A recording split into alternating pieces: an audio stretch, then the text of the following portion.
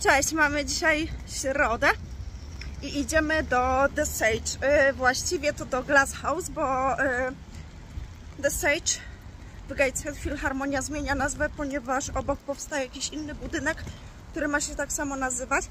Thank you! Do auta, do auta krzyknęłam thank you. I, I nasze dziecko tam dzisiaj występuje. Pojechali całą klasą rano. Rano no teraz zaraz będzie 10, my tam na 10 musimy być. E, kupiliśmy bilety i będziemy na... Albo to będzie, e, Krzysiek, wiesz jak to się nazywa? School Dance e, Festival. No, także to jest taki, taki tutaj u nas lokalny festiwal tańca. A Mateusza klasa ma 3 minuty występu. Tak, on mówi, że 3 minuty będą występować i e, jeśli chodzi o nasze dziecko, to on żyje tym występem już chyba od dwóch tygodni. On sobie na ręce zapisał, gdzie będziemy siedzieć. On sobie na ręce zapisał, gdzie będziemy siedzieć. Będziemy siedzieć na balkonie, Krzysiek mówi. E, no i co? I idziemy, bo już musimy się troszkę spieszyć. A którędy ty... Dobra.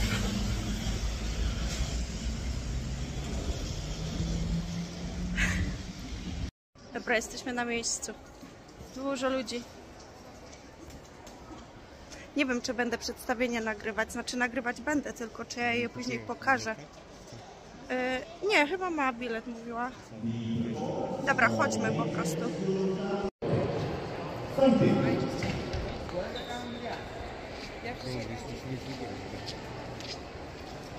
Tam nas pan pokieruje.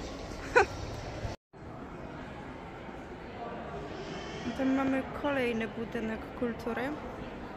Baltic się nazywa. Bardzo dużo też e, tam jest organizowanych wydarzeń.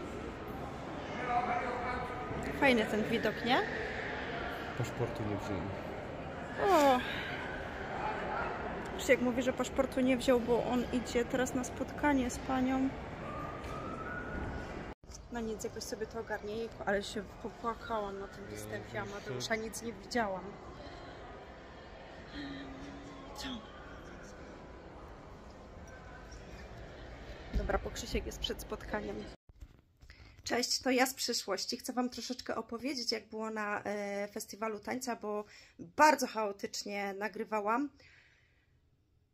Byliśmy po prostu tak zaganiani tego dnia, że to, co mi się udało Wam przekazać, powiedzieć w międzyczasie, to Wam powiedziałam, ale teraz powiem Wam, jak wyglądał tamten dzień. E, my rano zaprowadziliśmy dzieci do szkoły i od razu pojechaliśmy do Gateshead e, i tam już dzieci były, czekały na e, wejście do, na salę. Ten, ten Glass House to jest filharmonia, to jest ogromne centrum muzyczne, gdzie odbywają się bardzo ważne wydarzenia muzyczne, narodowe, międzynarodowe i, e, no i, e, i szkoły, szkoły. Council chyba organizował to wydarzenie. Mm, Tak mi się wydaje, że Council. E, I szkoły z naszej okolicy brały udział w tym festiwalu. E, Każda szkoła e, z biorących udział szkół mm, miała swoją mm, reprezentację. Czasami były to e, osoby z różnych klas z danej szkoły i razem, razem mieli występ, a w przypadku niektórych szkół e, występowali klasami. Na przykład jakaś klasa była reprezentacją danej szkoły. Nasza szkoła miała reprezentację dwie, bo to były dzieci z naszej klasy trzeciej, czyli Amadeusz i jego przyjaciele z klasy i klasa chyba piąta. Tak, mieli też swój występ. I e, wydarzenie było tak wspaniałe. E, dzieci były pełne entuzjazmu. Jak już weszliśmy, e, to na dole było bardzo dużo dzieci. One były już poprzebierane, gotowe na swój występ i bardzo fajnie to było zorganizowane, że dzieci też były widownią.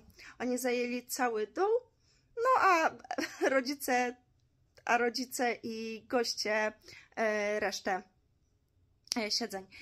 I e, no i po kolei sobie te szkoły występowały. To było tak wzruszające, kiedy Amadeusz ze swoją klasą wyszli na scenę. Ja, ja mało widziałam, bo miałam wszystko łzami zamazane, ale zatańczyli przepięknie. Jeśli chodzi o ich wiek, to poradzili sobie bardzo dobrze, bardzo dobrze sobie poradzili. I jestem tak dumna z niego. W wieku 8 lat e, wystąpić e, na scenie Filharmonii to jest naprawdę coś wielkiego i my naprawdę jesteśmy bardzo dumni. E, nie można było nagrywać, poproszono o to, żeby nie robić zdjęć, żeby nie nagrywać, więc to, co gdzieś tam, wiecie, z ukrycia ustrzeliłam, czy nagram, nagrałam cały występ, e, to zostawimy dla siebie. Mm, musicie mi wierzyć na słowo, że było pięknie. E, no, Naprawdę było piękne wydarzenie. Ale zaraz po tym wydarzeniu musieliśmy e, się przemieścić do innej części Gateshead, ponieważ e, Amadeusz, ponieważ Krzysiek miał e, um, umówione spotkanie z panią Magdaleną w sprawie pracy, bo od jakiegoś czasu już szukał pracy, ponieważ trochę mm, trochę inaczej to wyglądało niż zakładaliśmy, to jego powiedzmy bezrobocie to nie do końca było bezrobocie. No, on miał ten kurs i tak dalej. No i wiecie, no już od jakiegoś czasu się rozglądał za y, pracą i jak była cisza, tak nagle jednego dnia po prostu miał trzy do wyboru i czwartą jeszcze tak jakby też dodatkowo. No, w każdym razie, y, jak nie było nic, tak nagle się posypały oferty pracy, no i Krzysiek sobie wybrał na razie tą pracę, bo yy, od razu do niej poszedł. To była środa, a on już w poniedziałek miał iść do pracy, więc pojechaliśmy, załatwiliśmy, co mieliśmy załatwić i yy, no i, i, już właśnie wczoraj, w poniedziałek, pierwszy dzień przepracował. Yy. Zajmuje się drzewkami. Pielęgnacją, sadzeniem, podcinaniem, pakowaniem drzewek, bo te drzewka jadą dalej w świat. Mm, jeśli chodzi o branżę, no to bardzo ciekawa. Amadeuszek się bardzo cieszy e, z tego, że drzewka, bo drzewka są dobre dla ziemi, a Amadeusz jest bardzo empatyczny i bardzo zwraca uwagę na ekologię. I tę zasługę mogę przypisać sobie. Krzyśkowi też, e, ale to ja go tak chyba najbardziej nakierunkowałam na to, żeby, żeby mm, myślał o planecie. Wiadomo, jeszcze później szkoła ten temat przecież podbija. Ja, Amadeusz, bardzo, bardzo myśli o planecie. No, myślę, że e, wystarczy na tą chwilę, bo e, problem mam z tym pendrive'em. Trzeba go skonfigurować, czy jak to się nazywa, sformatować. Krzysiek nad tym pracuje, bo niestety e, filmy, które przerzucam na tego pendrive'a się nie, nie odtwarzają później. No, więc trzeba nad tym popracować. Chcę się Wam też pochwalić przy okazji. To ma fajne okno i zobaczcie, to jest ten kwietnik, który robiłam mm, z celiną. I wiecie co, ja ich kilka narobiłam, sprzedaję je, one kosztują 15 funtów u mnie.